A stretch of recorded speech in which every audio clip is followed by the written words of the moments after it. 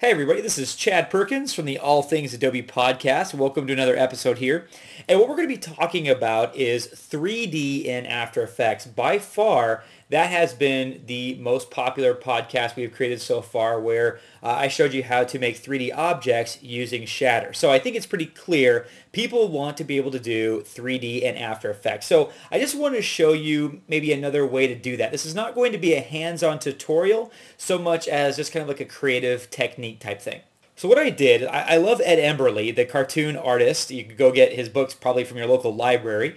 Um, he basically just has this idea that anybody can draw with just simple lines. So I made this haunted house Ed Emberley style from, I think it was the Big Orange drawing book. I made this drawing in Illustrator and then I imported it into After Effects.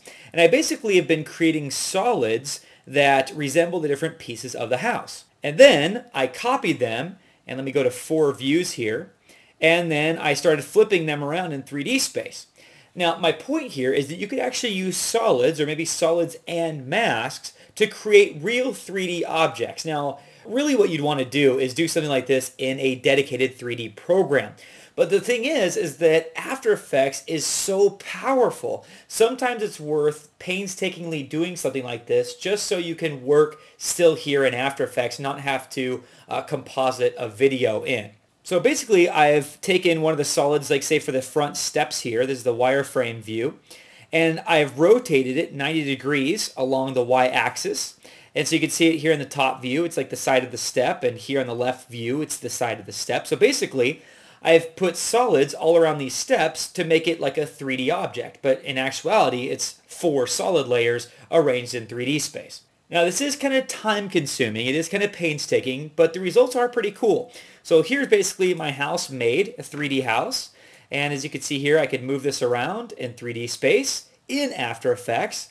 And it's not Gollum or Shrek or something like that that's like a real rendered 3D object, but it is kind of cool. It's a 3D object just made up of simple solids. And I realize it looks uh, exceedingly hokey. There's not like a really powerful rendering engine in After Effects. However, if I go to this other composition where I've added some lights, you can see that it looks pretty sexy. It's a little bit slower on the uh, redraw time.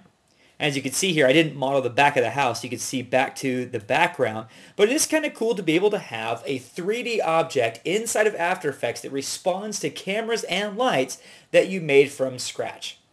And again, it's all just solid layers. You make flat solids of color and see these are uh, rotated just a little bit, just tilted ever so slightly.